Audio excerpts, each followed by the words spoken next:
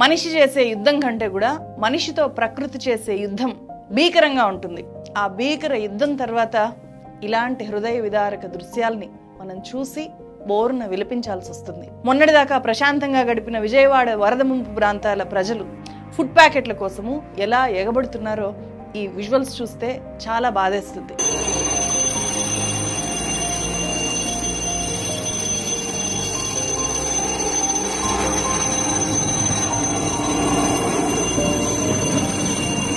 ఇది కూడా యుద్ధమే. ఆకలి యుద్ధం.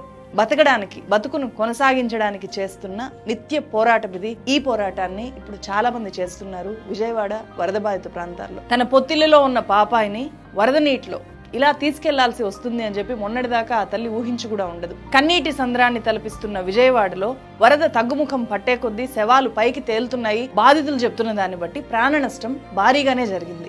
యాభై వరకు శవాలు ఉన్నాయండి.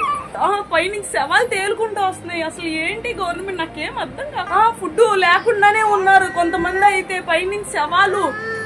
అసలు వాసన ఏం అర్థం కావట్లేదు.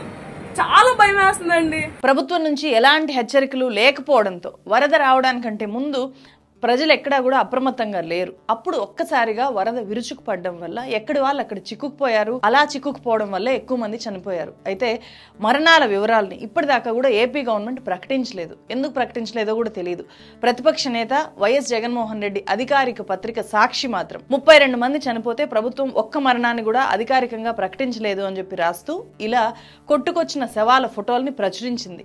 ఒక షాప్ ముందు నడి రోడ్డు మీద అనాథలాగా మృతదేహము తోపుడు మండి మీద మృతదేహాన్ని నెట్టుకొస్తున్న బాధితులు సర్టిఫికెట్ల కోసం వెళ్ళిన విద్యార్థిని ఎవరూ రక్షించకపోవడంతో మింగేసిన వరద విజయవాడ ప్రభుత్వాసుపత్రిలో మార్చురీలో ఒకే చోట పడి ఉన్న శవాలు ఇలాంటి ఫోటోల్ని సాక్షి ప్రచురించింది. అలాగే జీజీహెచ్లో ఉన్న ఇరవై నాలుగు ఫ్రీజర్లు శవాలతో నిండిపోయాయి. ఆ తర్వాత ప్రైవేట్ వ్యక్తుల నుంచి పది ఫ్రీజర్లు తీసుకొని వస్తే అవి కూడా శవాలతో నిండిపోయాయి. ప్రభుత్వం చేస్తున్న సహాయక చర్యల్ని మీడియా ప్రధానంగా ప్రచారం చేస్తోంది చూపిస్తోంది ప్రజలకు. కానీ ఖచ్చితంగా జరిగిన ప్రాణ నష్టం గురించి కూడా చూపించాల్సిన అవసరము తెలుసుకోవాల్సిన అవసరము ఉంది. ఎందుకంటే మృతుల జాబితాలో అయినా సరే చనిపోయిన వాళ్ళ గురించి చేర్చాలి వాళ్ళకు పరిహారం అందాలి కాబట్టే ఖచ్చితంగా మీడియా ప్రధానంగా ఎంతమంది చనిపోయారు అని చెప్పి గవర్నమెంట్ని అడగాలి.